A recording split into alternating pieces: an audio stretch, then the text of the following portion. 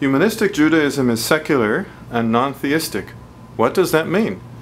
We know that many Jews feel very culturally and ethnically Jewish, but we know that for many Jews, prayer and a traditional liturgy service aren't meaningful ways to connect with their Judaism. Judaism comes from birth, from choice, from marriage, from all different sorts of sources, and we want to appeal to people for whom prayer isn't going to meet their needs, but who want to be in Jewish community and Jewish contemplation and celebrate Jewish holidays and rituals in a meaningful way for them most people don't really seek religious sources or a deity for guidance in their everyday decisions. We know that we have other ways of determining what we want to do and who we want to be. We see Judaism as an identity that's very important. We identify with Jewish culture, history, and civilization, and we're invested in a Jewish future. We do it in a cultural as opposed to a, a belief in God. Rather, we believe in one another, we believe in the power of human transformation, and we believe that we are responsible for ourselves.